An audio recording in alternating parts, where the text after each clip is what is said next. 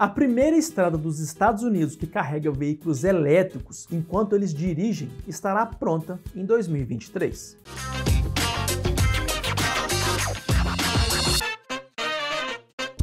Fala amantes da engenharia, meu nome é Gustavo Pereira e hoje vamos falar sobre um sistema de carregamento sem fio para carros elétricos, onde o carro pode ser carregado enquanto se movimenta. E por que isso é importante? Bem, embora o custo não seja razoável para construir rodovias enormes que possam carregar carros elétricos sem fio, eles não necessariamente precisam ser utilizados apenas em carros. O sistema ainda pode ser útil para rotas de ônibus e estradas onde as pessoas passam muito tempo presas no trânsito, para que possam, inclusive, carregar seus dispositivos portáteis. Esse projeto está sendo desenvolvido pela empresa israelense Electrion, que anunciou que planeja construir a primeira estrada nos Estados Unidos com capacidade de carregamento sem fio para veículos elétricos. O projeto piloto está programado para ser concluído no próximo ano em Detroit, no estado de Michigan, e inicialmente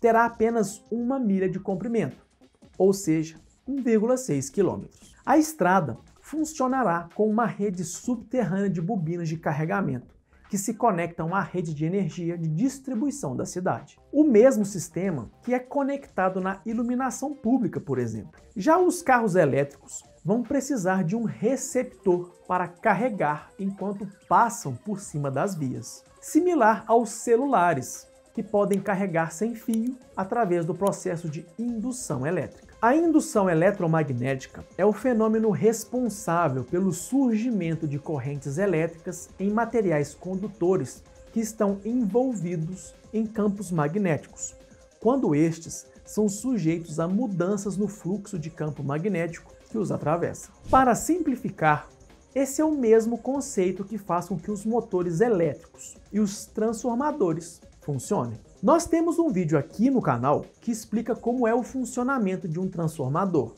e vale a pena você assistir. Então fique conosco até o final que eu vou deixar um card para esse vídeo. E fique tranquilo, o sistema não emite eletricidade sem um receptor ativo, então as pessoas e animais que atravessam a rua não serão eletrocutados. Ela também é modular, pois cada bobina é conectada individualmente à rede, para que um buraco não inutilize todo o sistema de carregamento. A cobrança por quilômetro depende do veículo e da velocidade com que ele está indo. Embora a estrada não reabasteça totalmente a bateria, especialmente considerando seu comprimento, ela poderá carregar um pouco, permitindo que os carros elétricos aumentem a sua autonomia antes de exigir uma estação de carregamento.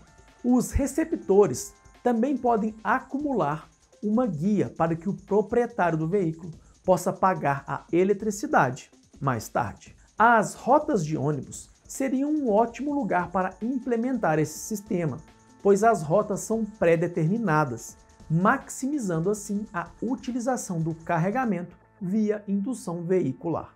Mas áreas com muito congestionamento também podem funcionar bem, pois seu veículo teria tempo para carregar enquanto espera o trânsito avançar. O conceito de carregamento sem fio para veículos elétricos está longe de ser novo. Em 1986, a Califórnia testou uma opção de carregamento sem fio para carros movidos a eletricidade para seu programa Partners for Advanced Transit and Highways, ou PATH. Mas, no geral, os esforços de carregamento sem fio para veículos ainda encontram sérios obstáculos. A começar pelo custo de implantação e manutenção das ruas e a exigência de se instalar um dispositivo receptor no veículo, que pode adicionar um bom custo. E você, acha que o futuro está em utilizar estradas para carregar veículos elétricos? Deixa aqui nos comentários. Eu vou deixar dois vídeos aqui do lado que vocês podem gostar também. E o vídeo sobre transformadores